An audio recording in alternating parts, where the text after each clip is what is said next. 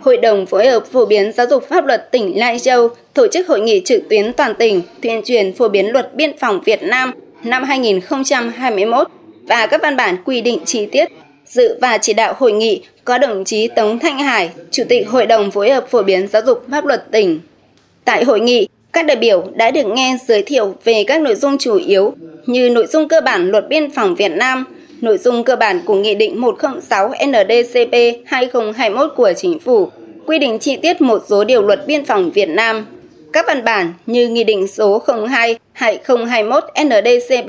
ngày 2 tháng 12 năm 2021 của Chính phủ quy định quản lý sử dụng và danh mục các phương tiện, thiết bị kỹ thuật nghiệp vụ của Bộ đội Biên phòng. Thông tư số 02-2022 ngày 7 tháng 1 năm 2022 của Bộ trưởng Bộ Quốc phòng quy định nhiệm vụ, quyền hạn của các lực lượng thuộc quyền trong quản lý, bảo vệ biên giới quốc gia, khu vực biên giới,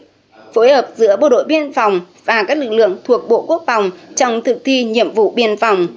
Đây là văn bản pháp lý rất quan trọng, đã thể chế đầy đủ quan điểm tư tưởng của Đảng về bảo vệ Tổ quốc, về nhiệm vụ quốc phòng an ninh, quản lý bảo vệ biên giới quốc gia, khu vực biên giới,